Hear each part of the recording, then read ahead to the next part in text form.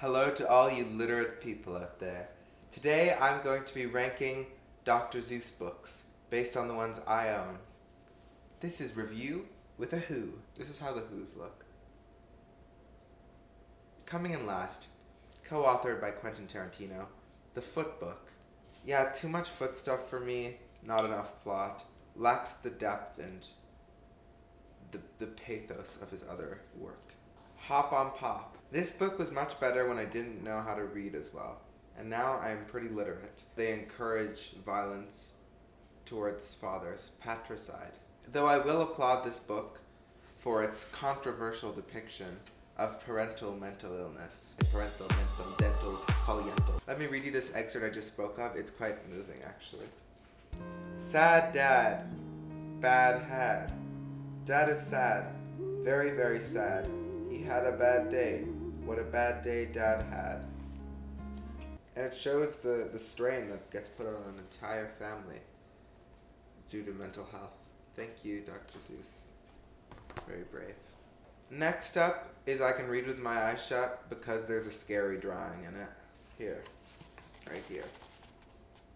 It is a nice face kini, but this freaked me out as a kid and I kind of couldn't fall asleep last night because I read the book and it scared me. By the way, the cat can't really read with his eyes shut because it makes his hat go limp and his eyebrows are red and then he looks stoned and his mouth is wrinkled and he has a lot of splotches going out of him like that. Next up is the James Charles anthem, Green Eggs and Ham. Much like the James Charles story, this follows a young twink who's really persistent in trying to get someone to do something they're not into. Coming in the middle of the pack, and this pick is my most controversial of the day, but The Beloved Cat in the Hat. For those of you who haven't read this literary classic yet, I have like pages and pages of coupons. You can get eight Dr. Seuss books for only $1.99 and a free tote.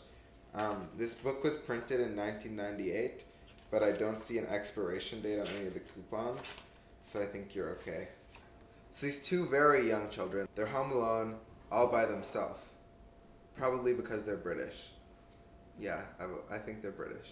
And then this cat, who may add does not look very much like a cat, and is probably catfishing these children by pretending to be a cat and isn't a cat, and lying. I would be happy to do a ranking of Dr. Seuss films if you guys would like to see it. Comment below. So the cat busts down the door, starts harassing their pet fish, starts marauding about their house, starts swinging around their mother's possessions as if they were things you swing, and then proceeds to break things, cause an overall hoopla. Hoopla, you say? I love a good hoopla. Not this kind of hoopla. This is pure chaos. Then the cat brings in a box from which he releases two things, named Thing 1 and Thing 2. These things, dressed in red jumpsuits with their names brandished upon their chest, reminded me of the film Us, which is very scary, and they also come into a house in red jumpsuits. Once the things are released, the cat gets them to help him rampage this house. And may I say, this cat has chosen to pick on a house run by a single mother, as if her life wasn't hard enough in the 50s already. So not only does the cat disrespect boundaries, consent, and other people's possessions, but yes, he is also a misogynist. Now we see the mother approaching the house. The cat flees, with Thing 1 and Thing 2, leaving the house in shambles. Then the cat returns and cleans everything up with a fancy machine, disregarding the emotional trauma he has just caused these children and their fish. So that is why The Cat in the Hat ranks middle for me. This book takes an alphabet that I'm somewhat familiar with and spices it up using Dr. Seuss's signature whimsy. I will now read to you a section in which he describes a gay bathhouse. Willie Waterloo washes Warren Wiggins, who is washing Waldo Woo. Coming in hot at fourth is Fox in Socks. Here we see a very ambitious crossover of Dr. Seuss's own Mr. Brown. Here is my hottest of takes. The Cat in the Hat comes back, surpasses the original. The cat returns and decides he should bathe in front of the children who he had previously traumatized. It is refreshing to see the little English boy stand up to the cat when he says, Cat, you get out. There's work to be done. I have no. Not only does the cat return and perform some of his greatest hits, such as destroying mother's dresses or eating cake when it's inappropriate to do so, but he also brings along new friends. Now, please do not take me for a cat apologist, but he does spend much more time in this book cleaning up. Now, you could argue that all of this cleaning up is in the cat's selfish interests, and I would not stop you. But at least his assistants this time are far less menacing than Thing 1 and Thing 2.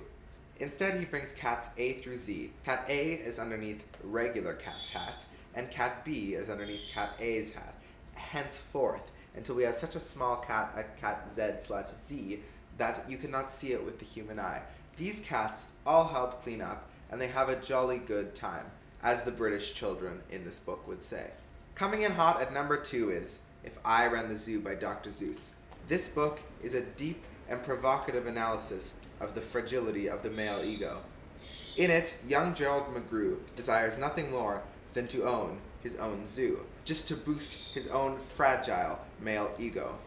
He fantasizes, wow, they'll all cheer, what this zoo must be worth. It's the goldarnest zoo on the face of the earth. This shows the greed, the lust for power, and the lack of consideration that we raise our young men with in this patriarchal society.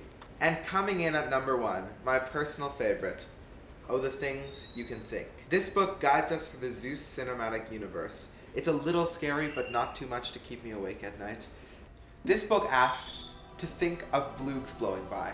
And I ask you honestly, when was the last time you did that? Probably not very recently, because we as a society are so ingrained in our technology, with our noses down, always connected, but never thinking. Oh, the things you can think. You, right now, are watching me talk about Dr. Seuss books when you could be reading this literature. So go crack open a Dr. Seuss book. Think of the things you can think. I thank you for watching and joining me as I venture through the Seuss cinematic universe. And now I beg you, go release your mind and think of all the things you can think.